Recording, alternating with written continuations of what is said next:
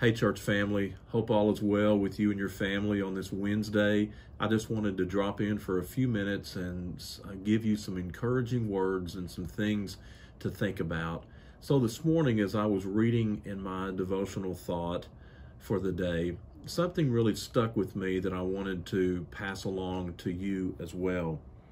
The most direct route, this writer said, between point A and point B on your life journey is the point and the path of unwavering trust in God. Now, I want you to think about that for a moment because every day of life, we start off and, and we're living our life and we have choices and decisions that we have to make. And anytime we have those anxious thoughts or those thoughts of doubt, we really have a choice to make. Are we going to follow the path of God or are we going to go down this other path and listening to voices that we know are probably not good and healthy for us in a spiritual way? And it's in those times where we have to lean upon God and trust His Word and lean upon each other as Christian family.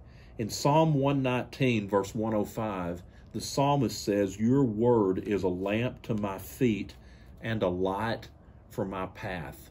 And so the path has already been laid out for us from Almighty God on the way that He wants us to walk and the way that He wants us to live our life. And I want you to hear these words from Psalm 25, verse 4. Show me your ways, O Lord. Teach me your paths. Guide me in your truth and teach me, for you are God, my Savior, and my hope is in you all day long.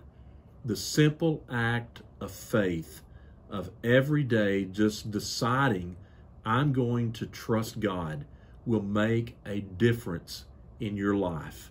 And in those moments where you begin to waver and you may begin to doubt, I challenge you to do this simple thing.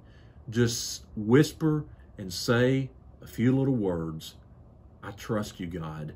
And just let Him have your life and let Him have His way with you. May God bless us on this day, and may God continue to bless you and your family. I love you, church, and I'll, I look forward to seeing you this Sunday online or in person as we worship together. Talk to you later.